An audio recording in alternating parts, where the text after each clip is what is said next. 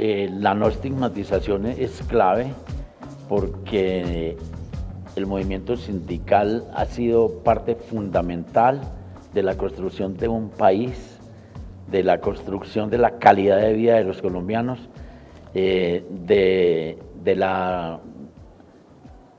leyes de este país fundamentales las ha hecho el movimiento sindical.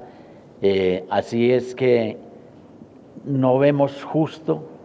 que los medios de comunicación fundamentalmente hayan tejido eh, un estigma contra el movimiento sindical, mostrándolo como algo nocivo para la sociedad, cuando en los países más desarrollados, sin movimiento sindical, esas sociedades no hubieran podido ser lo que son hoy en día. Así es que la estigmatización contra, contra el movimiento sindical fue muy grave, pero nosotros esperamos que con las reivindicaciones, con las grandes luchas que ha dado la,